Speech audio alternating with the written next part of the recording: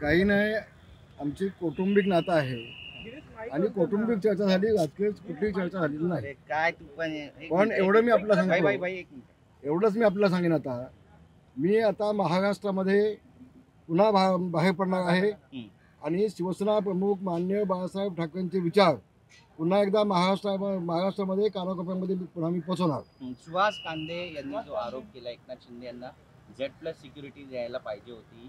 त्यांना धोका होता गडचिरोलीच्या नक्षलवाद्यांप्रमाणे. बऱ्याच लोकांनी मुख्यमंत्र्यांच्या कानावर बाब टाकली मात्र त्यांना सुरक्षा देण्यात आली नाही. शंभूराजे देसाई असे म्हटले की सकाळी आठ वाजता मला फोन आले काही लोकांचे. मी नाव घेणार नाही आता.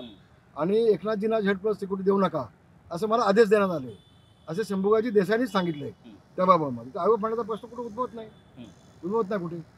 नाही पण का नेमकं का देण्यात आलं नाही? यामागचं कारण काय वाटतं तुम्हाला? फोन आला शंभूराजांना विचार कोणाचा फोन आला होता? हां, आणि त्यालाच- वर्षावरून फोन आला असं आणि म्हणाला. त्यांनाच विचारा तुम्ही ना मला कसं विचारताय तुम्ही?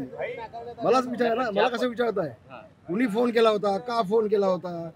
एखाद्या माणसाला गडचिरोली जिल्ह्यामध्ये आ, जिथे अतिरेक्यांच्या जिल्ह्यामध्ये नक्षलवाद्यांच्या जिल्ह्यामध्ये काम करतोय आणि अशा वेळेला त्या माणसाच्या जीवाचं रक्षण करणं आपलं काम असताना अशा वेळी त्याला झेड देऊ नका.